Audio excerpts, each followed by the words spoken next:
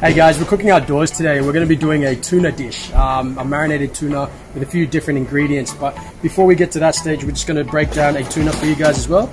Um, you guys have requested it. You kept sending me messages on uh, Instagram, social, so that's what we're going to do. So first thing we look at, we've got this awesome little tuna that we got from the market today. It's still a little bit uh, fresh and it's beautiful. But the first couple of things that we look at when we're purchasing fish in general are the eyes. We want to make sure the eyes aren't murky. Um, two, you want to make sure the gills are nice and vibrant and uh, and red. Um, three is the firmness of the flesh. You want to make sure it's nice and firm or not battered or, or mishandled. Um, and then and then the last one is the smell of the fish as well. So you want to make sure it just reminds you of the ocean. If it smells like the ocean, it generally is a good uh, good sign. Um, and then obviously like the sliminess of the skin as well. If it is slimy, you don't want that. So I'm happy with this purchase. We got it from the market this morning. Uh, the fishermen caught it off uh, the coast of um, Fisherman Island. Uh, I've got a guy down there that helps me out with some good stuff as well. So let's break this down.